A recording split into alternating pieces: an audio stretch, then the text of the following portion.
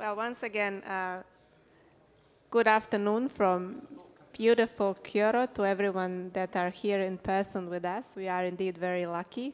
And uh, certainly good afternoon, good morning, good, after, good evening to all our, all our, colleagues who are joining us online. Uh, I think we have already a nice, uh, yes, a nice participation diverse um, of the NRI colleagues uh, joining us. It's still quite early in um, many parts, well, the majority of the um, of the of, of, our globe. Uh, so I think Europe and Africa, especially um, the uh, North and South America, it's still early there. But I really greatly appreciate our colleagues for joining us online. So just for the record, my name is Anya Gengo. I work at the IGF Secretariat, and uh, one of the one of my core responsibilities is to work together and support the network of um, national, regional, sub-regional, and youth IGFs. When we um, started working together as a network, when the IGF Secretariat dedicated a focal point to the NRIs, we had, if I'm correct, around 50 or 60 NRIs. So that was the time when we were all enjoying uh, Brazil in 2015. Today we speak about more than 160 officially recognized NRIs. Um, the network is not just re remarkably growing in um, quantity, it is growing in quality. If you look at the work that's been done at individual NRI levels, then you can see that there are strong efforts invested continuously into making the IGF processes at national or regional levels or specifically targeting youth engagement and youth empowerment to be as inclusive as that's possible. And uh, we have the NRIs, for example, that are strategically not hosting their meetings in the capitals, but they are touring the country. So, because uh, colleagues from Brazil are on my left side, so they're one of the examples, Italian IGF, Polish IGF as well and so many others. And I think those are uh, excellent practices to mention at the beginning. This is a traditional NRI's coordination session we host at every annual IGF meeting. Um, and it is a day where uh, we take the advantage of the fact that many of us are here present in person at the um, annual IGF meeting, and of course to connect with our colleagues online, to reflect on what has been done so far, where do we stand, what's the status quo, and uh, what needs to be done. Apologies, I have a instruction here. Thank you. Thank you very much. I hope our uh, colleagues uh, in Zoom can, can hear us well and see us well. So as I said, it is a time for us to reflect um, and specifically to, um, to uh, try to compromise, brainstorm what needs to be done uh, for future for a strong NRIs network uh, which means strong um, internet governance and internet governance forum uh, ecosystem. And I think the momentum, you would agree, is very important just because um, politically speaking, uh, much is happening, also um, process-wise. Uh, you know that we are approaching the review of um, WSIS, so WSIS plus 20 in 2025. That also means the review of the IGF's mandate in 2025. And um, the question today that we have for this session is, um, what is your view in terms of how to make um, the NRI's network stronger for a strong internet governance ecosystem? And specifically in the context of WSIS Plus 20 review, what could be the role of the NRIs? Of course, we will come also to other processes which are happening uh, in parallel to uh, everything that's been done so far. That is the Global Digital Compact, but also we shouldn't forget about the Sustainable Development, development Goals, uh, on which already was reported that we are behind. And I know that through the NRIs, the concept of sustainable development is uh, very much addressed on, on several levels. Now, uh, I think we're very happy uh, that um, part of the NRI's network um, is, um, on behalf of the Portugal IGF, is Ms. Uh, Ana Neves, who is also chairing the CSTD, the Commission for Science, Technology and Development, uh, with the United Nations. And because the CSTD issued a roadmap for WSIS Plus 20 review, before maybe we ask individually all NRIs to speak about, in general, what could we all do together collectively but also individually to make sure that we are a stronger network and what could be the role the NRIs could play in this plus 20 review. Maybe I could uh, ask Anna uh, to, as a chair, speak a little bit about the processes with the CSTD. How do you see the WSIS Plus 20 coming up? and specifically, what's the value of, um, of, of, local inclusive processes with respect to internet governance? I think Anna, you have, the, microphone, have the microphone uh, next, to you, and, uh, and uh, I hope you, I can, hope hear you can hear it. Okay, this is fine. Thank you. Uh, yes, thank you, Ania, very much. So I'm uh, Ana Neves. I'm uh, from Portugal and I'm uh, uh, a member of the Bureau of the Commission on Science and Technology for Development of uh, UNCTAD, uh, which is the body uh, of United Nations uh, that has the responsibility to follow up on an annual basis the, the WSIS process. And since the last session of the CSTD, last March, uh, it started the process for the, the reviewing of the WSIS Plus 20. So I would like to share with you, because I was appointed the chair of the CSTD for one year until uh, next March. Uh, it's um, a rotative uh, chairmanship of, of the Bureau. And, um, and so uh, now I would like to share with you, as I was uh, saying, uh, that for the review, the ECOSOC adopted in June, so last June, um, a resolution requesting the CSTD to collect inputs from member states, uh, all facilitators and other stakeholders, and to organize during its 27th session in March 2024 uh, and in, uh, in the session in the following year, in 2025, substantive discussions on the progress made in the implementation of the outcomes of the WSIS during the past 20 years, and to report thereon through the ECOSOC to the General Assembly. The CSTD members adopted uh, last March a roadmap um, at, uh, so uh, adopted the roadmap at its annual session in March 2023 uh, to guide the CSTD's work on WSIS Plus 20 review. What is this uh, roadmap about? So, the roadmap includes open consultations at regional and global levels, by CSTD or in partnership with other UN agencies and UN regional commissions, a survey questionnaire to all stakeholders, governments, international organizations, private sector, civil society, technical communities, including academia, as well as written inputs from contributors to the regular UN Secretary General's uh, annual report on WSIS. It will prepare a synthesis report by the CSTD Secretariat based on these consultations and written inputs, which will be submitted uh, to the discussion at the annual session of the CSTD in 2024 and 2025.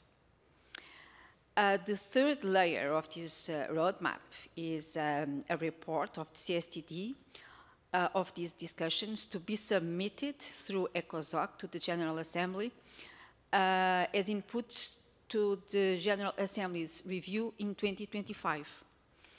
So the roadmap is very ambitious and uh, um, its full accomplishment depends, of course, on the availability of financial resources uh, for these purposes. But um, what I would like to, uh, to underline is that the first consultation will take place on the 10th of October, so next Tuesday, at um, 3.15 uh, in the main hall, I think. Uh, so it will be the first consultation, the first multi-stakeholder consultation.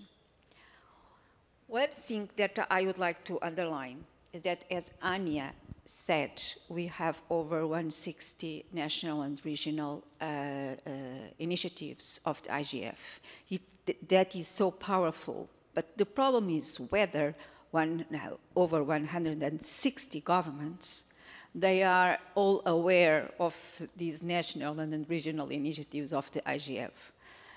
So there is a lot of work to do among all these uh, stakeholders. And uh, another thing that we have to underline all the time is, is that it's not only about public and private sectors plus civil society, is public sector, private sector, technical community, academia, civil society, international organizations. So there are several stakeholders, there are not only three. At the same time, we are having the discussion of the digital compact. Um, everybody says it's a parallel uh, process. It will, it should end by uh, the summit uh, of the future uh, by September 2024. So it's the same community that is going to discuss it, but it will, be, it will include governments. So it's up to these 160 national and regional initiatives to inform your governments on the status quo, on the importance of, this, of these NRIs, um, because this made a huge difference. See where we were in 23, 25 and where we are now in 2023. Thank you, Anya. Thank you very much, Anna. And I think you gave us, uh, yeah, indeed really deserves deserves an applause.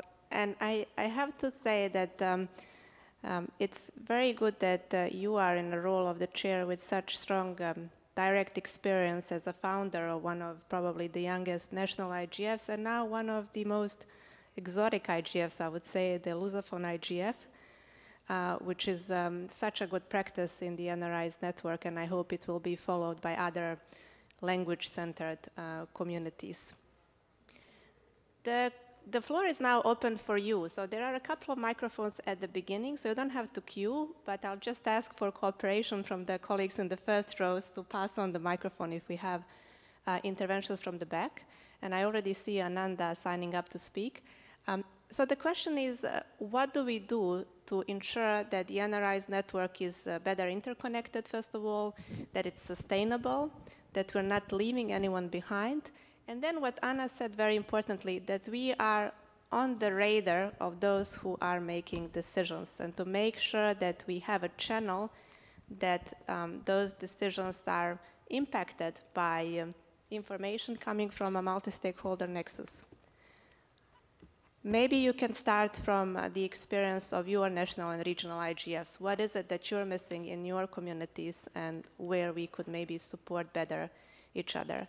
Um, um, maybe I'll ask uh, for Ananda just to take a microphone from the first row, but I'll share my experience while Ananda is getting ready from this year. So this year I um, uh, was very privileged to participate in person in a few uh, regional IGFs primarily, uh, and of course online in um, a number of uh, national, sub-regional, regional, and youth.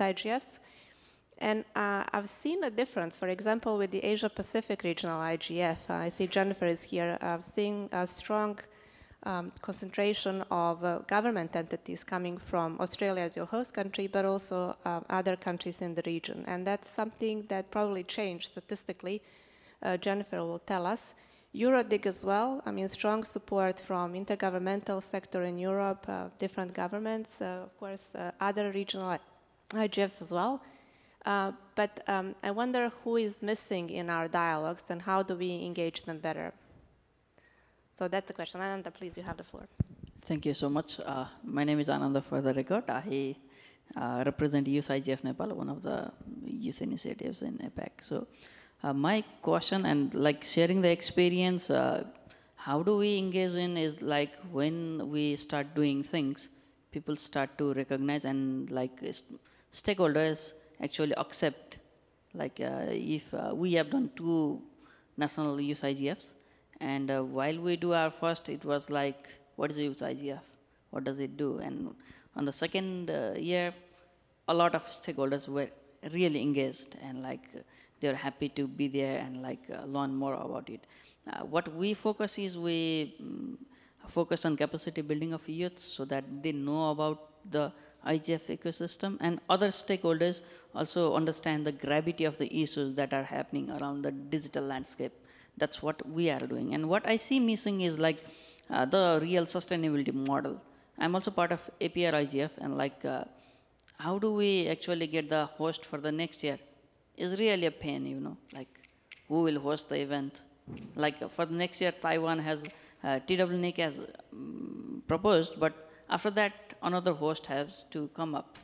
And uh, that is not that easy, you know, like um, making a regional IGF's a success is really uh, many people has to engage in that and the sustainable model is not yet fixed for EuroDIG i think it's more clear eu there's eu that supports uh, more in the engagement and organizing uh, i think uh, the government part and may, maybe other regional multilateral organizations should chip in into that so that these kind of initiatives are uh, sustainable and can go. And another thing is like interconnection between these IGFs. Like uh, there are 160 IGF already. How do national and uh, youth initiatives from APAC really connect to the Asia Pacific regional IGF? We do not have any mechanism right now. And how do all the regional IGF connect with each other? There is no actual uh, mechanism for that as well. There is a youth Asia Pacific IGF uh, that is not connected to youth IGF in the region. Like there is a body, but like how do we connect? There is same in like uh, youth uh, youth dig and like all of the regional youth IGF that are. So we need to have a specific mechanism that is interconnected with uh, from the youth initiative to the national initiative to the regional initiative and I think there are more sub-regional IGF as well. So there need to be a concrete model where all can communicate and maybe collaborate. So that is it. Thank you so much for the mic. Thank you very much, Ananda. Okay, so we have a couple of hands here. Uh, can I, okay, can I ask Poncelet, because I've seen Jennifer firstly raising her hand, just, or Emmanuel, just to help with the microphone to get to Jennifer? Or maybe I can come actually down and help with that as well.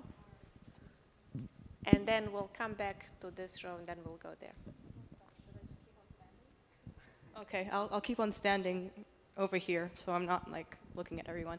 Um, hi colleagues, hi everyone. My name is Jennifer Chung. I'm part of the Asia Pacific Regional IGF Secretariat.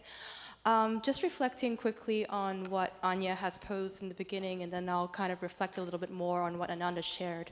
So the question really is, you know, what is missing? What is the, the part where the NRI networks can uh, be able to fulfill its, its strengths. We are 160 plus strong.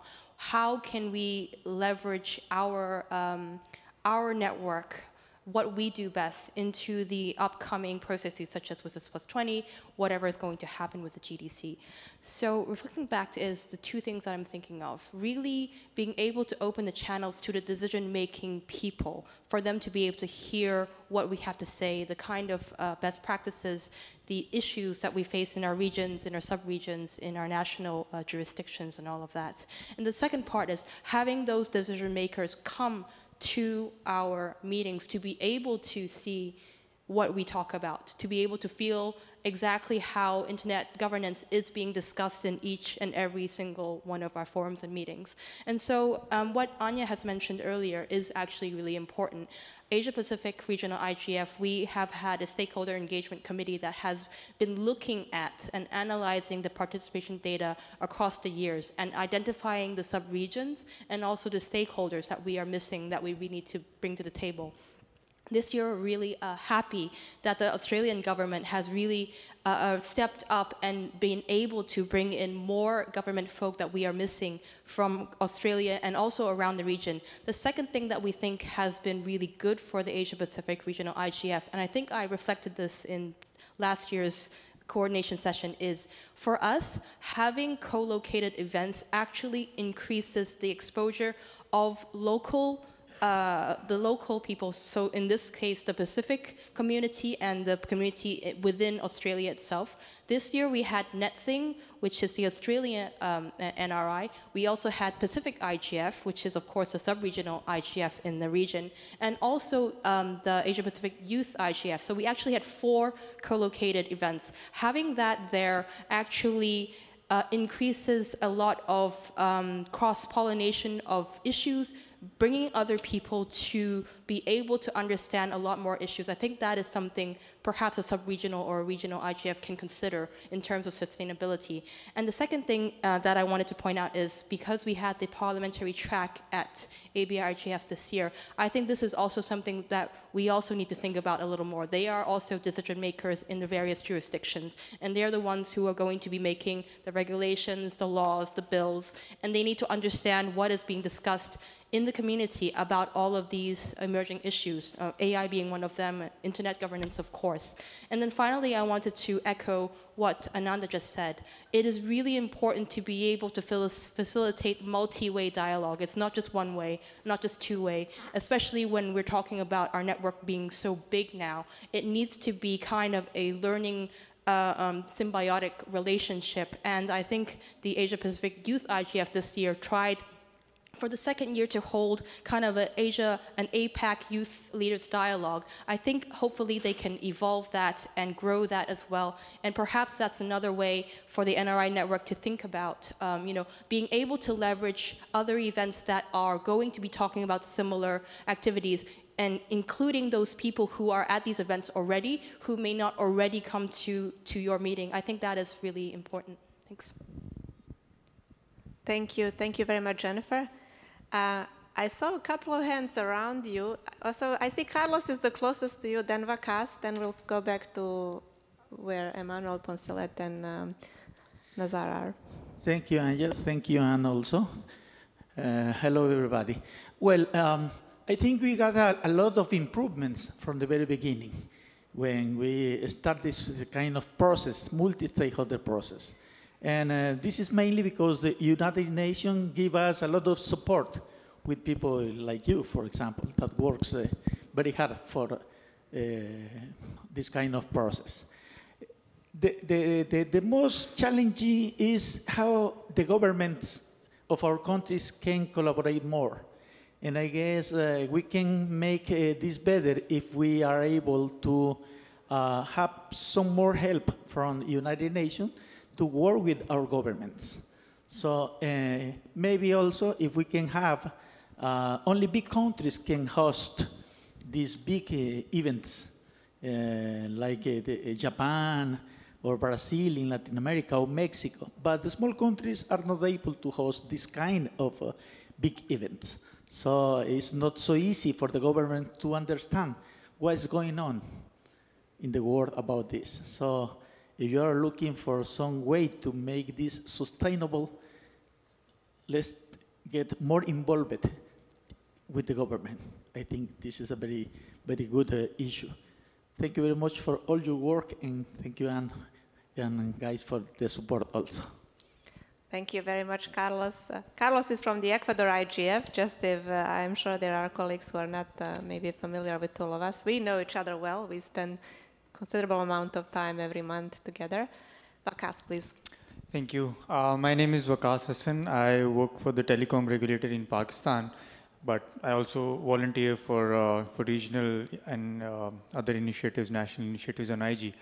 I have two comments. Being wearing two hats, I think um, I'm in a position to make two comments, one from the government side and one from the other side. If you look at government participation in the regional and national initiatives and also at the global IGF, it is increasing because I believe that the discussion has become more respectable and more cordial between all the stakeholders. When this process started, there were, of course, there, are there are points that you have to be strong about. When your your voice has to be strong, you have to make your point. But I think the governments have now realized that this discussion on internet governance, uh, it is it is not a one-handed decision. It has to be a multi-stakeholder decision. And now they're becoming more active in these kind of forums because uh, these discussions are more progressive in nature now. Uh, that being said, being associated with APR IGF as well and all, I think there is still a lot of room for improvement. I think the government participation in these forums uh, is increasing, but it is not, I don't think that that is at that level where we can say that there is an equal participation among all stakeholders, including the government. There will always be a disbalance, but there has to be a certain threshold that has to be maintained.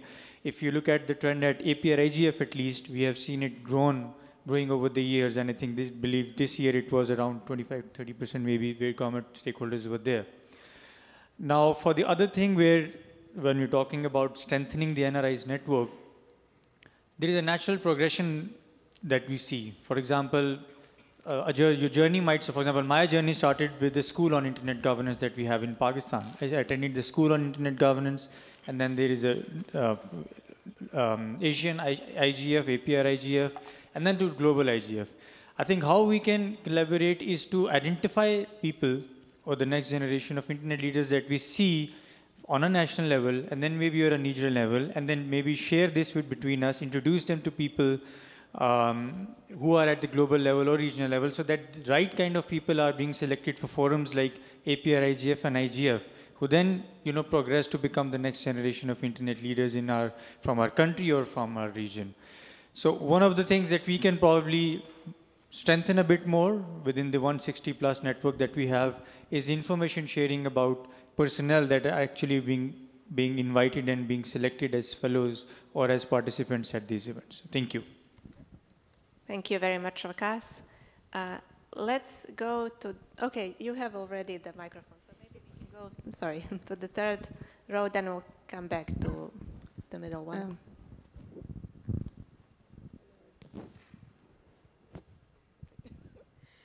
Hello, everyone. Uh, my name is Andres Bass. I'm from New York, and I want to know why IGF do not have a lot of representatives from the United States and by the time when I go to the UN with a lot of youth, and when I'm talking about the IGF, they don't have no knowledge about what IGF and, and this is my sixth one. I'm coming, and each time I make sure I bring um, with me students from different parts that can see how wonderful that program is. And I think, uh, yeah, I need to do a better communication with the regional that's the way they can have a platform when we send people. It's not a one-time deal.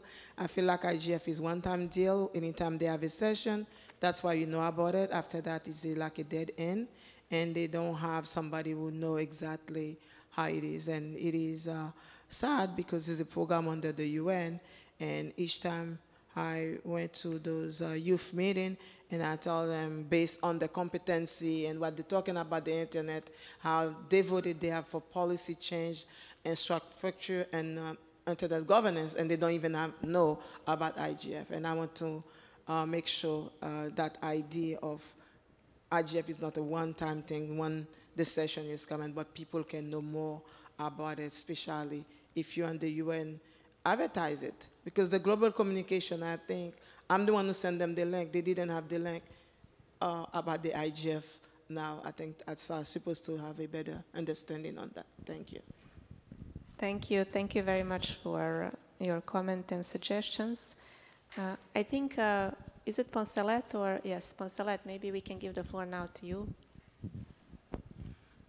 Yes, thank you um, very much, Poncelet speaking for the records. Um, I will say um, in terms of, um, I, would like to make my comments in terms of improving um, based on what we have in, in Africa, and I'll use the Gambia as an example, in which you have to have um, overall buy-in from your government, and um, your minister is involved, your parliament is involved, and then even the local UNDP office is involved. So um, in a sustainable way, the government has a budget for it. The UNDP supports it through their governance program, and I think generally when we, if, um, if other countries apply, I'm looking at what um, Anna, Anna, said earlier on with the CS um, they can come on the top on during our regional IGFs to support and, and speak, but it also makes sure that, like the African Regional IGF, we should have it harmonized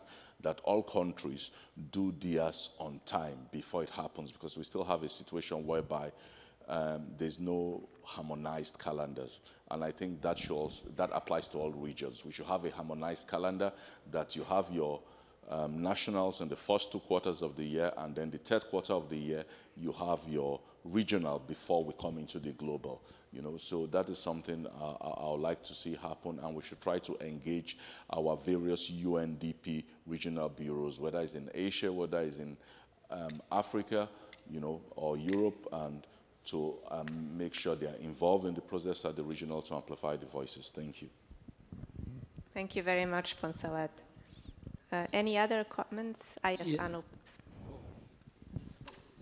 Oh, okay. Um, Okay, thank you very much, Anja. And uh, first of all, uh, I would like to thank uh, the Secretariat for the work that uh, you put in uh, in organizing us. It's not uh, uh, a, a small job. It's um, huge, but uh, I think you, your, your team does a very good job of uh, putting everything together. That is number one.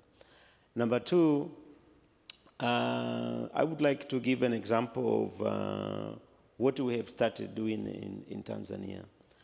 Um, you know, the IGF uh, previously in Tanzania was known for having an, an event in a year and you wait for another year uh, when you have uh, the next IGF. So what we, we are trying to do now, however um, shoestring budget based, is to have issue-based uh, capacity building uh, workshops where we invite all the stakeholders to be able to, um, uh, to engage with us. For example, we had the issues of digital taxation and we involved all the, all the stakeholders, including the, the taxman and the ministry. And now uh, our IGF has been known for, for all these, uh, you know, activities that we organize as intersessional activities, you know, um, towards uh, the end, uh, towards the calendar of our, of our national IGF.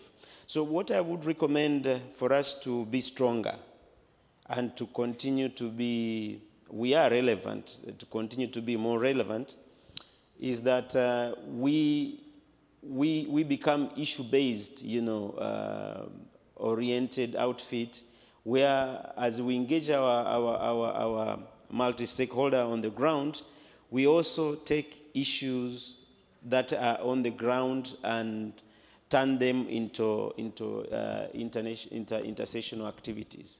For example, in Tanzania, um, we were very instrumental in terms of uh, the uh, Personal Data Protection uh, Act that came into force uh, last year. And also, we, we are now very instrumental um, uh, in the digital strategy that the Ministry of, um, of ICT is actually um, um, uh, rolling out for input. So I think uh, if we were to, to, uh, to, to take all these intersessional capacity building activities and invite all the stakeholders, we will make some inroads in terms of uh, making sure that we become more relevant on the ground. And in the process, uh, will be known uh, at the ground level as actually people who are not just uh, uh, doing the meetings, they are actually uh, there to, to make sure that the issues that are on the ground are being discussed on and, and, and being acted upon. Last is about the issues of uh, connecti- connectivity, for example. Our national IGF also uh, undertook a project on connectivity.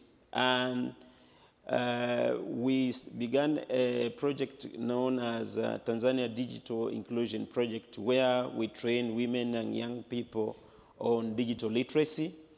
Uh, and also, we have created uh, an example, an exemplary uh, uh, di- community digital innovation hub, where you know people from the community can come and access internet, and also, you know, you know, learn about how to use the internet and so on and so forth. So if we have some tangible projects that we're actually doing on the ground, people will see us uh, not only as discussing the issues of internet governance and internet development, development but actually creating solutions. So I think uh, we also ha have to take this route where we do some concrete, uh, even very shoestring budget-oriented uh, little project in our communities that you know people can also emulate.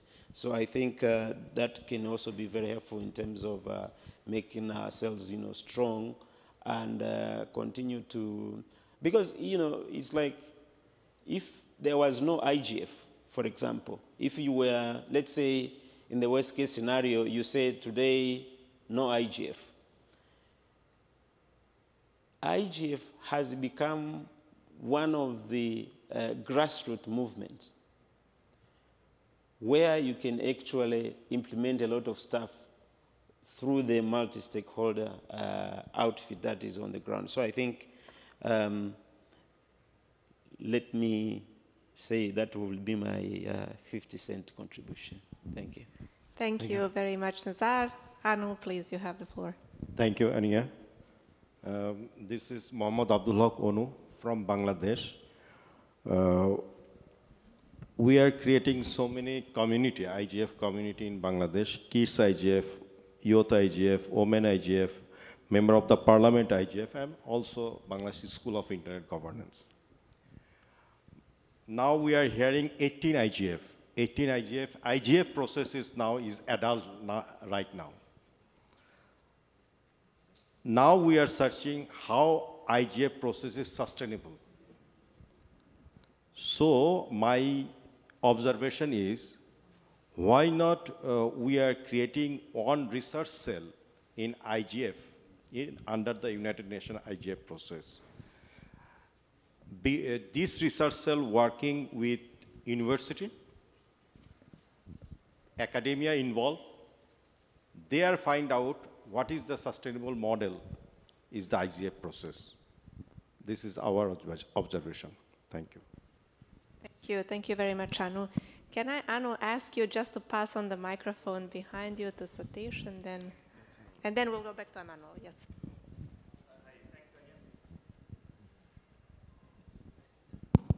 Thanks, Anyan. I'm Satish Babu from India.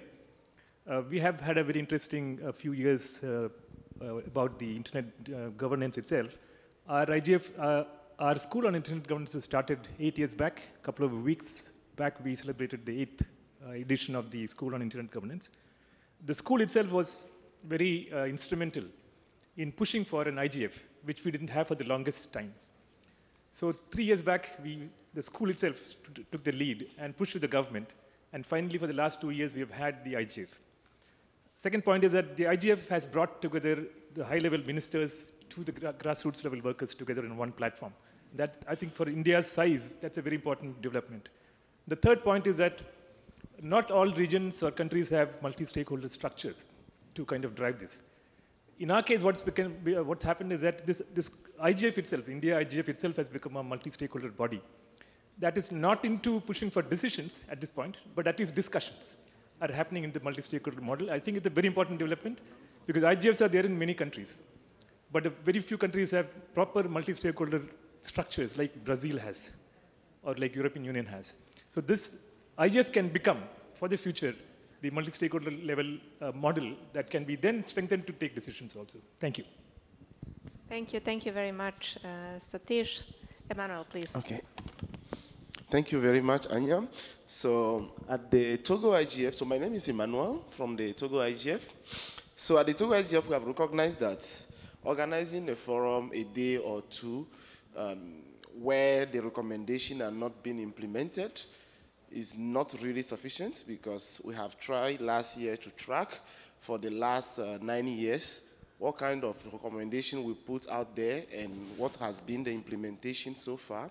So we've noticed that uh, in Togo, for example, the regulator do participate in the name of the government, but the ministry usually, they don't usually come as actors. they come as participants. So it's quite difficult uh, to track the implementation with them because they are not actors in putting uh, those recommendations together. So what we try to do this year is do a stakeholder engagement with those stakeholders, the MPs, the government, and the regulator. Because this is a problem in most Francophone African countries where government don't usually feel discussing on equal footing with civil society and um, uh, other stakeholder group like the business. So this is uh, a strategy we are putting in place. Together with Dr. Shango, we developed a training material. So this coming November, trying to organize a workshop for those stakeholders alone to explain what the internet governance means, the processes to them, because I think there is a lot of ignorance. So usually when you send them a letter, they can designate anybody from the ministry to participate, but they are not really actors and also implementing those uh, how the recommendations. So we hope that by engaging them uh, alone, they can actually join the conversation, you know, while we organize our next um, IGF. And the other point also is when we organize the schools, those government officials don't usually apply to join the school. So it's also a very uh, big problem. So we think that the workshop can try to solve that uh, gap. And uh, from the regional level as well, because I'm fortunate to coordinate the West African School of Internet Governance, at the regional level, the problem we have is that we don't have funding for the school. But those schools are usually expensive than the forum. And the school represents um, a kind of um, Uh, uh, ground where we train the future leaders for those conversations because today um, it has been a while. I don't classify myself among the youth anymore because I'm on the adult table and I'm on the youth table for years. And this is the same example in most African countries or West African countries where the same youth are the actors in the NRIs. So the hope is that we should be able to train as much as possible young people to take lead in the, how do you call it, the youth conversation while we actually grow, you know, uh, in the NRI level. So that is something. So we should find a mechanism to fund the schools, especially the regional schools, because uh, they are very important to, to train those coming leaders.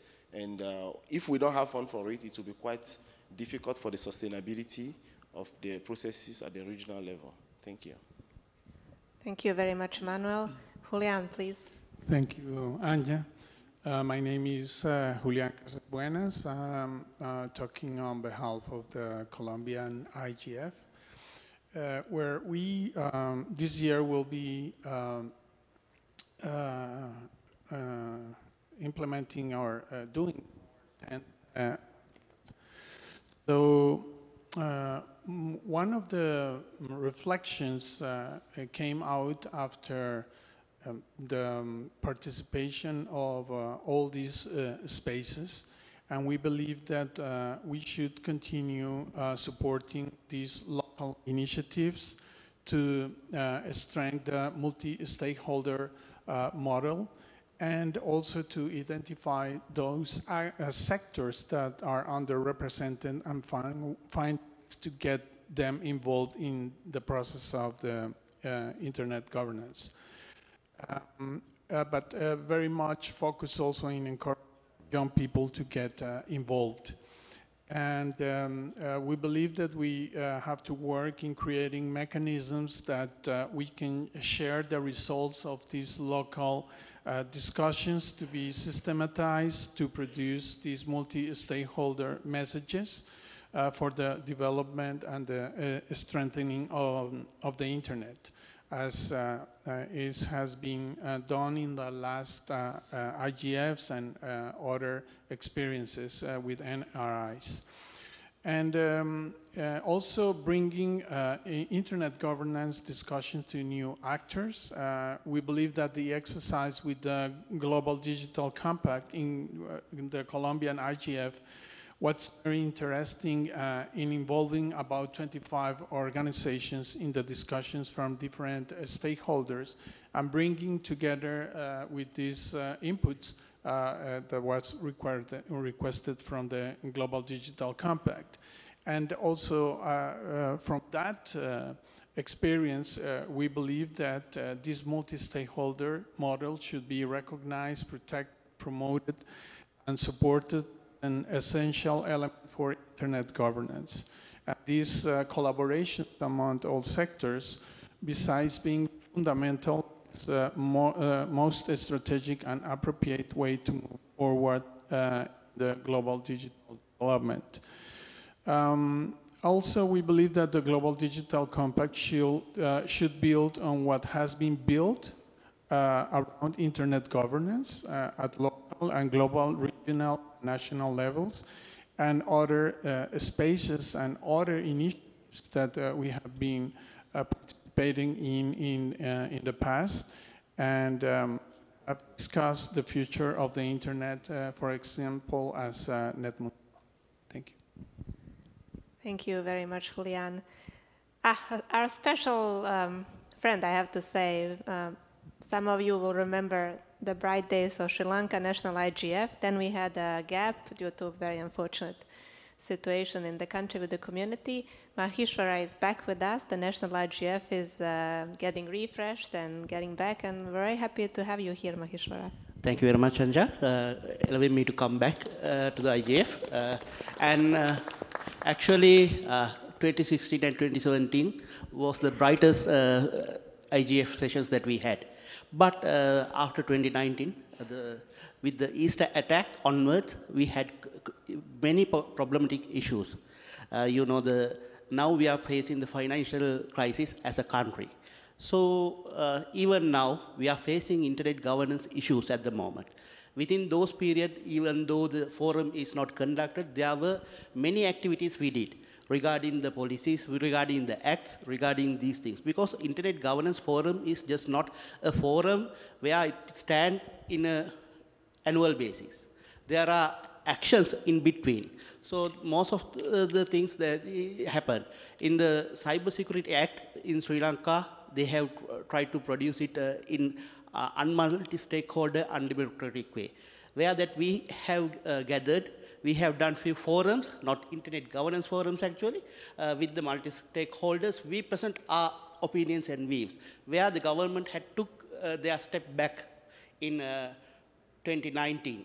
Then after onwards, now we are facing the same issue regarding the Safer Internet Act, where that it uh, may have issues uh, to be fragmented the internet. So where that we are collecting here, connecting here, we are gathering here to keep one internet. Uh, so uh, as a suggestion, uh, we as an NRI network, we can do something.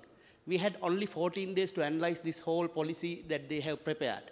So what we can do, we can gather together as NRIs and work, and we can share your opinions, and we can build upon our views on that event. This not should be Sri Lankan policy, it should be done by Sri Lankans. So what we can do it shared in whole NRI network. So likewise, I propose that thing. And uh, still, uh, we are planning our 2023 IGF version, a smaller version one.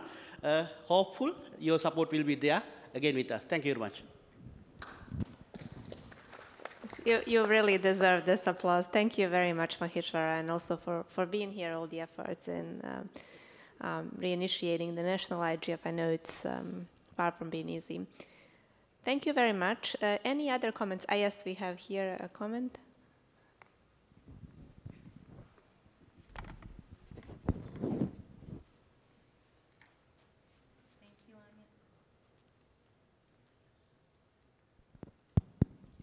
Hello, everyone. Thank you, Anja, for giving me the floor. I will make a brief intervention trying to, trying to respond to your main question. My name is Tanara Lauschner.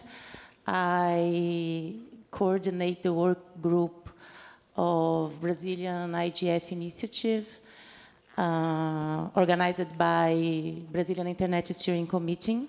And from our perspective, the issue of how to convey the, the messages to, to decisions makers is key for this decision for this discussion, sorry. In Brazilian IGF, we have been able to gradually increase the participation of decision makers throughout the years, either by making adjustments in the format of the event to guarantee real multi-stakeholder discussions with meaningful participation of all sectors, or even by leveraging the opportunities of our annual events to foster nationwide debates. The Brazilian IGF was a key resource in the past when it discussed the main Brazilian internet law, and the same has been happening recently with new trends such as the platform regulation debates. I believe NR eyes should find ways to adapt their networks to be more and more connected with local, regional, and global debates so that they can be seen as a valuable resource by decision makers. Other than that, I believe we must find ways to strengthen our bonds and cooperation between the NRIs, be it to simply exchange experience, be it to build whole new partnerships for consolidating useful models of discussing, participating, and impacting local, regional, and global debates about the internet, ICTs, and the digital ecosystem as a whole. Thank you. Thank you very much, uh, Tanara. Ah, we have uh, new comments. Um, maybe I'll just go, uh, since I think it was uh, at the same time raised hand. So I'll go to Roberto from Bolivia, then we'll go to Gunela. Thank you, Anja.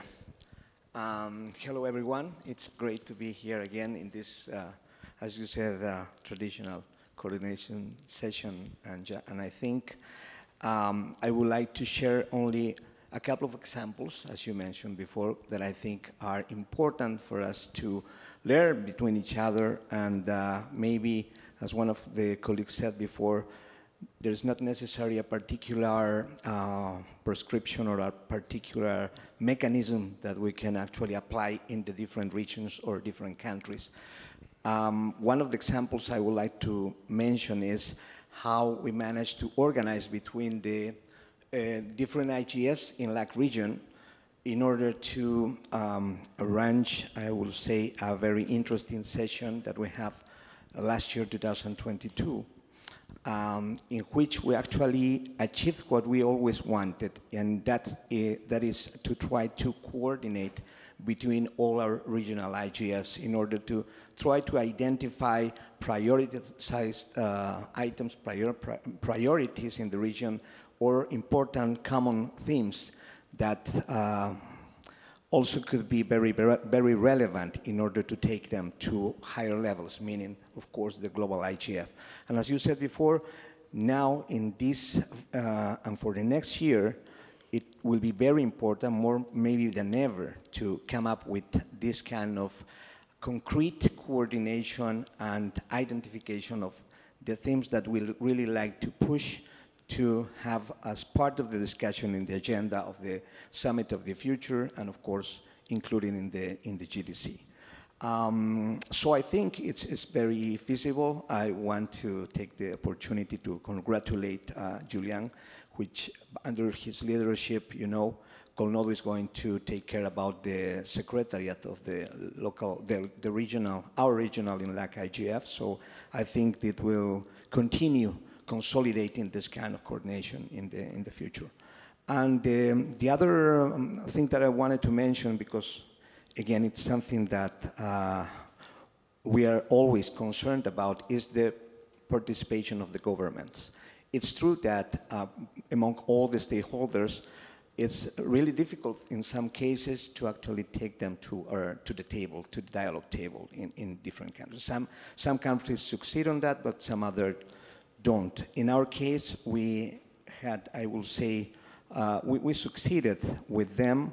In our case, in Bolivia, IGF, we succeeded having them in, in the dialogue table, and we even got very important results. I'm talking about from 2017 until 2020, when we have very uh, interesting outcomes in terms of adjusting public policy in terms that were very important for, for Bolivians. So I think it, it, the, the presence of, of them in these dialogues in our NRIs is, is really important. And now it comes a suggestion, um, Anja. Uh, we, we know that we always count on you, on, on the Secretariat. You are always open to be part of our dialogues, and we thank for that a lot. Even the MAC chairs uh, usually attend to this kind of event when, when we, we actually invite you, because I think it's very important for us in our local dialogues to count with your participation, because this gives even more formality to, the, to our events. Um, what happens in 2021, in our case, what we couldn't manage to get the government because many of the people that we, to, to, we, which, uh, or to whom we were discussing before were out of the offices, so they changed the, the different authorities. Uh, so in this kind of opportunities, I think a good uh, way to even get them again to, to our dialogue table will be to receive some sort of support from the Secretariat, meaning that maybe, uh, I don't know if an invitation or a letter or something like that from the Secretariat that goes to the government uh, officials could help us a lot in order to positively persuade them uh, to, to participate in these kind of dialogues. Thank you very much. Thank you very much, uh, Roberto, and um, I certainly take that um, question and proposal to the Secretariat's management and, and up to discuss. Uh, and I do agree with you, probably um, it will be helpful. And I, I also recall these uh, types of suggestions from 2016 and 17, and maybe it's time to act upon those. Um, thank you very much. I think, Gunela, you had your hand raised. So you have the floor. Yes, then we'll go to, uh, to further to Lillian thank and... You. I think I saw a couple of hands there. Hello, Gunela Astbrink, uh, uh, chairing the Internet Society Accessibility Standing Group. And uh, we've, we've talked a lot about um, underrepresentation of particular groups uh, from the community in the um, internet governance debate. And uh, one particular group, of course, is uh, persons with disability. And according to the World Health Organization, at least 15% of any population has a disability. And uh, so we're talking about 1.3 and, uh, billion people across the world. And if we're looking here at the IGF, it would be well, well under 1% of, of, um, of attendees, um, both online and on site, who have a disability. So we really do need to increase that so that we have that disability voice uh, speaking from a lived experience. And um, from the Asia Pacific region, um, the standing group has um, developed a, a, very good relationship with the Asia Pacific School of Internet Governance to help um, train young people uh, with disability and disability advocates to, uh, to build that understanding, to build a new voice. But in order to do that, um, people need to have support to be able to participate um, in NRIs uh, nationally, globally, and uh, and it's it's quite it, it, it needs more support. Um, we had an issue with APRIGF and and um, needing more sponsorship for that support, and certainly with the IGF uh, support for persons with disability coming, um, that could be increased, and certainly some persons with disability need um, travel assistance and, and assistance to be around the venue in all sorts of practical ways. And there needs to be probably more understanding of that. So we can have people here. And uh, fortunately, the Dynamic Coalition on Accessibility and Disability have had some support um, through Vint Cerf Google to bring people here but we need a lot more. We need a lot more from various sectors. And so that's what I'm asking the IGF to provide more of that support so we can have the disability movement's motto, nothing about us without us, here at the IGF. Thank you. Yes, thank you, thank you very much, Gunela. Uh, let's hear from I think Lillian was first, then then we'll then we'll go to Mary, then we go to Rui, and then I don't know who else was up, but you can prepare. Yes, please. Can I? Can I use this? Is it on? I can hear you well. Yes. I'm- thank you, Anja, and uh, thank you for organizing this session. Um, I wanted to share some experience from um, from Uganda and uh, East Africa. Uh, my name is Lillian Nalwoga. I coordinate the Uganda Internet Governance Forum and the East Africa Internet Governance Forum. I think I've heard uh, from um, a number of colleagues here, you know, talking about involving other actors like government, private sector, and the youth. And I think this is good. Um, from the Uganda perspective, we always had a challenge of uh, bringing in the private sector into, you know, these conversations because I think just around the whole word, wording around internet governance, you know, and most cases, these conversations around, you know, policies, because um, in my country and maybe in Africa, we talk about so much regulation than, you know, um, being practical about some of the things that come out of these conversations. So what we have seen right now is the private sector is reaching out to us to be more involved in these conversations. And um, just about last week, uh, we received an email from, the, from MTN Group, MTN Uganda, which is one of the leading uh, telecom companies um, in Africa and in Uganda, you know, to just have conversations around uh, digital human rights, and uh, they were more focused into digital skilling for young people and, uh, you know, for women. So for us, this is, what, this is a plus, because in the past, the platform has been used for, you know, bringing together people, seeing how can we collaborate. Um, at the regional level, um, at the East African level, we had a forum last year, and some of the recommendations um, were to how do we involve more government people, you know, government entities uh, into these conversations. And um, one of the key issues we're looking at at the regional block was uh, cybersecurity.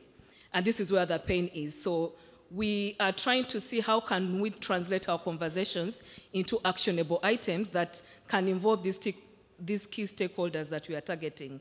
So um, this year around, when we organized the East Africa School on Internet Governance, we identified regional entities within the East African community and uh, working with uh, the secretariat at the East Africa community, we were able to identify about seven institutions and we targeted, you know, to give them, you know, an introduction to internet governance, but also targeting cybersecurity as one of the key areas that we wanted them to strengthen in terms of harmonizing regional, you know, policies and that kind of thing.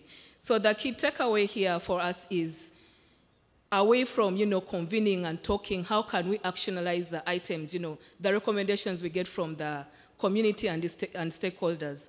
And we are seeing this beginning to happen, stakeholders reaching out to us and they're like, so for purposes of uh, strengthening the, the, you know, uh, talking about the continuity of the IGF, the WSIS, you know, plus 10 and all that, I think we can use our initiatives as platforms of engagement because we're already doing that, but then we need to be able to target and identify areas of interest to particular stakeholders because if we come with these, you know, bigger, you know, conversations and all that, we tend to, people stay, tend to shy away from these conversations. So the targeted conversations, the, the actionable items that we want to identify, I think that is the key takeaway we can, you know, utilize um, from my perspective. Thank you. Thank you very much. Maybe Roy?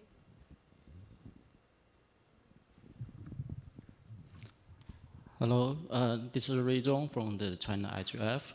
Uh, in, I would like to share a quick point. Uh, in China, we will follow the uh, internet governance uh, event or issue, both happening in China or in global uh, community. So we will organize the salon or workshop to discuss some the the hot topic, for example, the universal acceptance, data governance, information accessibility, such like that.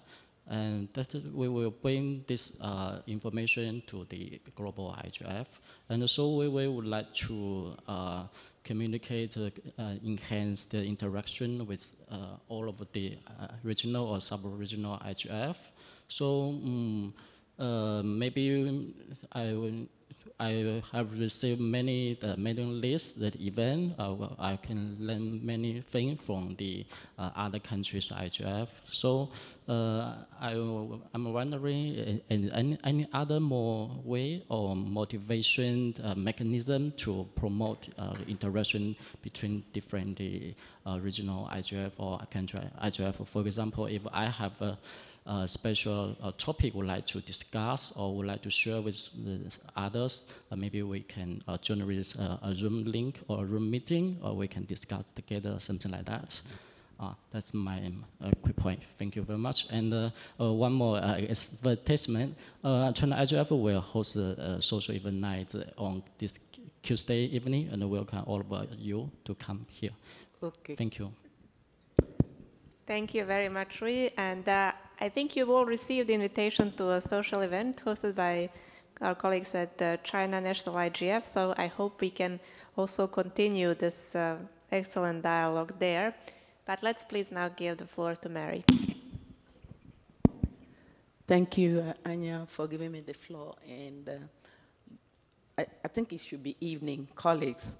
Um, I just want to share, I, I just want to continue from where Ponslet stopped, I want to ask whether there's anything that the, the uh, UNDESA at its own level will do to connect other UN agencies in our countries to um, show interest in IGF processes in our, in our countries, in our nations, in our region, in our sub-regional level.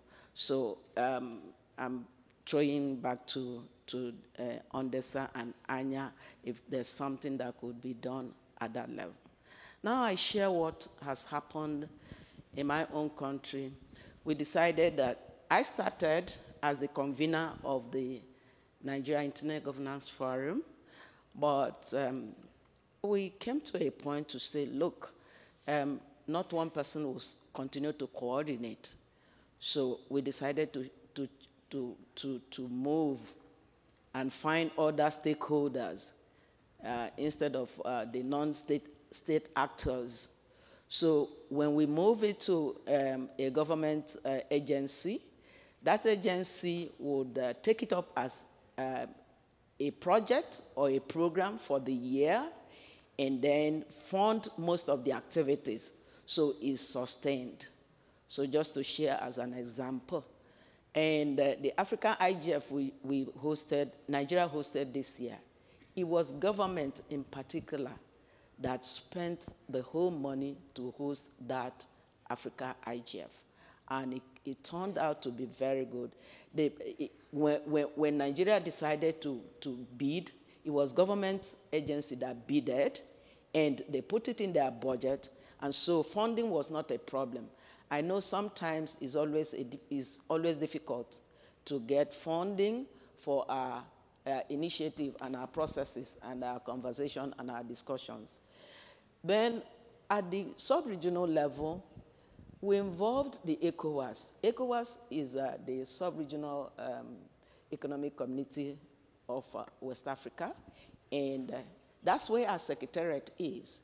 And um, it's part of the activity their yearly activity. And when we want to draw up our focus for the year, we look at what, uh, what um, conversations um, um, the, the member states would uh, want us discuss and uh, come up with recommendations. And when these recommendations are made, um, is sent to the, the ECOWAS will now uh, present it at the, either the, the uh, ministers level, converse, I mean, meeting at the ECOWAS level or the heads of state. So it doesn't, it doesn't arrest or it doesn't stop from uh, mere conversation. The communique is always carried forward.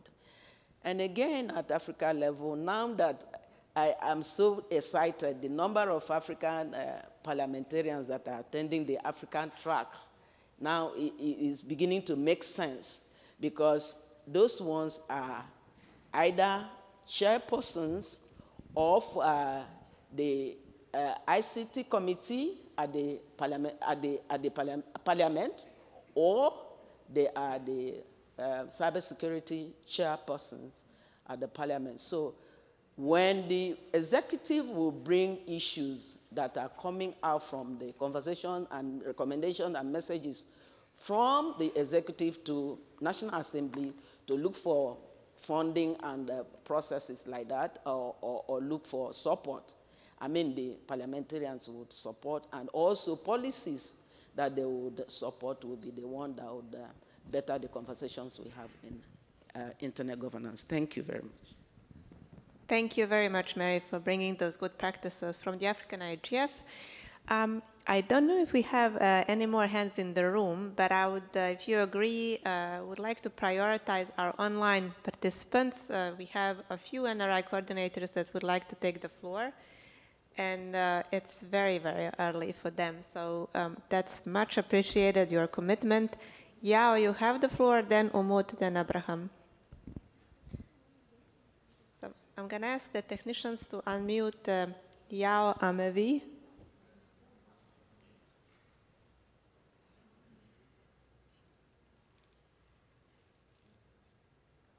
Thank you very much. Thank you, Anja. Can you hear me, everybody? Yes, we can. Thank you very much. And before, uh, I am Yao uh, from uh, Youth IGF Benin. I'm representing Youth IGF Benin this talk. And I'm also a member of uh, Dynamic Coalition uh, on data-driven and health technology. So before I start, I would like to thank you, Anja, for uh, participating virtually to the first Youth IGF event in Benin. That was very awesome, and the support was really relevant and got uh, very great feedback from your participation to this event.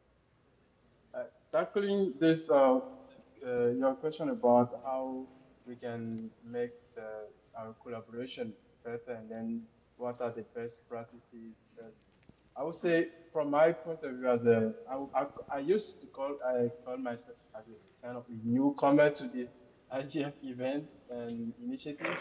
So from what I, have learned, I think so far, uh, the engagement from the NRI leadership is, is, something we have to actually praise because uh, you were there to support when we have initiatives and listen to us and then support in terms of uh, organizing, uh, networking, and uh, sharing the event among the different stakeholders internationally. But I think what is I've noticed could be done better could be how we can find way from the, uh, NRI leadership to better support national uh, IGF event, especially youth event, in, in the way of, I, I think I, I, would stress that in some of our communication, if it is possible to uh, give a, a, a, issue a letter of recommendation from the NRI or even from, from the UN DESA when there's any NRI event and issue a certain, in a way, letter of recommendation to the uh, coordinator of the event that would be a, a, a great loss. I, I, I, I understand that there might be some restriction and some other policy issue involved in that, but this is something I think we, we do can strengthen engagement in terms of uh, reaching out to various stakeholders and mainly government stakeholders when those uh, organize the coordinators, national uh, coordinators want to organize. And also, I think uh, we should also find way to harmonize uh, regional, local, and youth IGF events. Sometimes you, have noticed that we have calendar collusion.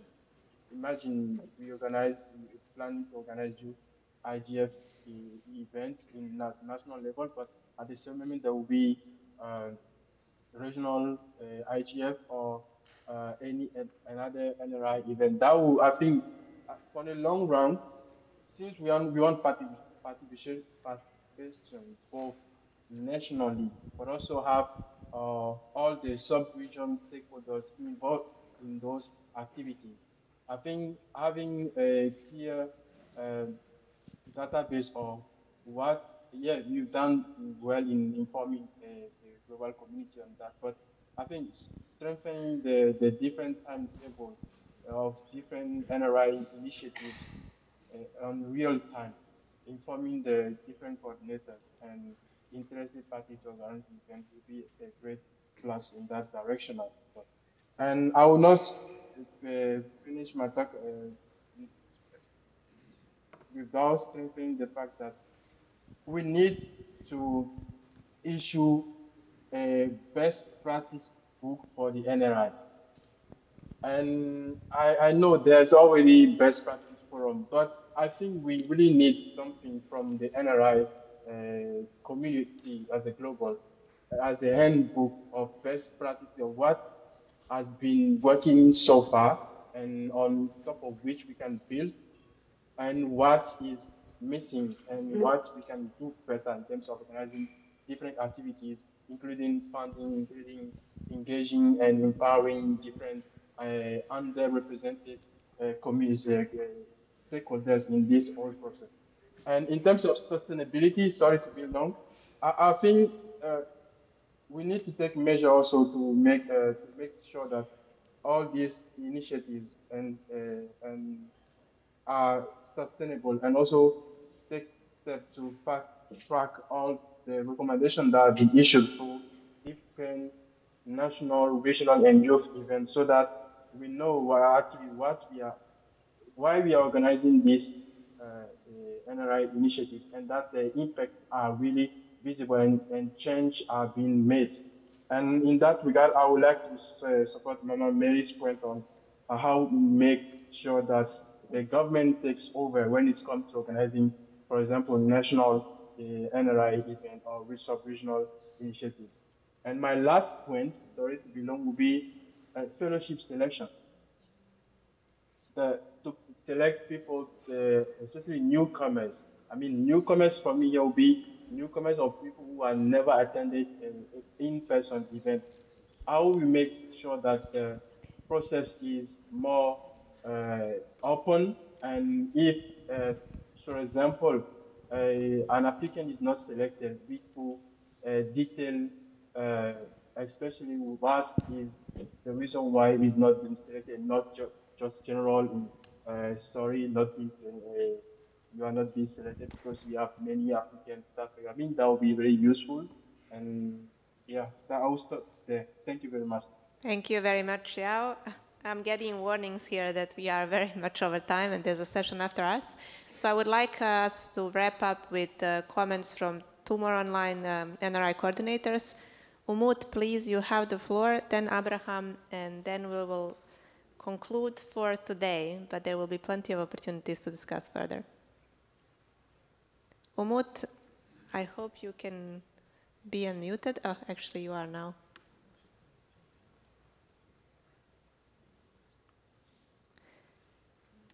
Umut, I see that you are unmuted, but we are unable to hear you here. So it could be something also on your side.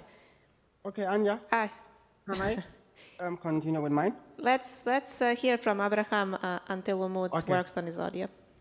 Okay, all right. Um, thank you, Anja. And uh, I would like to take this opportunity to um, appreciate your effort because sometimes I um, really want to um, understand how you're able to combine all this work from NRIs to all the um, IGFM communications. And um, I um, uh, have been supporting the West African Youth IGF and uh, West African IGF to us as well, and the Ghana IGF, and also belonging to the Pan African Youth Ambassadors for Internet Governance. Um, it's been a, a very um, good discussion here, following in terms of partnership and other governments. But um, this is my concerns because um, when thinking of um, bringing people in partnership, as um, um, Mama Mary was saying and other people were talking about, um, we also have to factor the um, equality in terms of participation. Um, when we look at this IGF, um, Africa is being underrepresented um, because um, we um, had some challenges in terms of assessing the locations that um, the events have been chosen. And uh, we really want to engage private companies, stakeholder groups that can also support the IGF in terms so that they can understand the family poli policies and formulations. But um, how can you also engage them when they, they can't get access to even witness the practicality of the IGF? I know private companies from different African countries who were trying to um, assess this year's IGF, but they couldn't because of the location, visa restrictions, and others. So, what I will um, suggest is that we must be able to um, also um, um, think through from the MAG level to the decision makers how we um, choose the selection of a place for IGF, which will not restrict so many people. And we must also have a model because I know the UN did a very good work with the host government, but things were not clear. So there was there should be an extensive communication to countries who are willing to host IGF. How will you facilitate to accommodate all the people coming from different regions? Because I know that Anja was even sending a lot of consistent emails to different countries, different people, but they were still refusing. People were funded by the IGF um, secretariat, they refused them visa because of um, some of these things. Um, and I know it, it's very heartbreaking as well. Involving government to um, as a decision maker is very key. Sometimes we, we, we can, the IGF secretariat and the um, NRS can also send invitation to government as well, so that the government will be able to um, work towards to maybe we have funding for people. We can fund about 20 people to come to this IGF, which will also be another plus for IGF, so that they can extend some of the fundings to um, other people who uh, will be influential too. So this is my um, takeaways, and I really thank everyone for contributing to this. And uh, we, as a Pan-African Youth Ambassadors for Internet Governance, we tried as much as possible. We have trained over 1,000 people in internet governance in different languages, um, Swahili, English, Portuguese, um, Arabic, and French. We, we, we were trying to create an impact within the various communities from different African countries, over 52 African countries. But we wanted to have a few to bring these people on board, but we, we couldn't due to some other processes. So thank you very much, and we appreciate that some of these um, um, consensus contribution will be taken um, into consideration. Thank you very much. This is Selby Abraham. Thank you. Thank you very much, Abraham. Indeed, very valuable. Uh, Umut, if you want to try once again, we have a minute to go. You can try. I think we still can't hear you. I see you are unmuted in Zoom. But it could be that your uh, verbal comment would relate to your written comment, and uh, technically it's about uh, finding a way to improve the way of sharing our inputs, messages, ways to engage multi-stakeholders, and also our BPFs in order to know exactly what is going on with the NRIs. And that is indeed a message that's been sent by several of you. The IGF Secretariat, as you know, will summarize uh, all these valuable, valuable inputs into action points. This will inform our consultations for a bottom-up planning of the work plan for 2024. Uh, we will certainly, after the IGF, as you know, traditionally uh, enter those consultations and hopefully start the next year with a new concrete work plan. And I'm very glad that we are um, on the radar as a network of other processes as well. Um, as Anna mentioned, the CSTD, the WSIS Plus 20 roadmap, but also the GDC. And thank you very much for your excellent, valuable work, everything that you're doing. That's a concrete impact and change that we are witnessing. And from the IGF Secretariat, just a big thank you to every single one of you. Thank you. See you at the gala dinner. And thank you everyone online.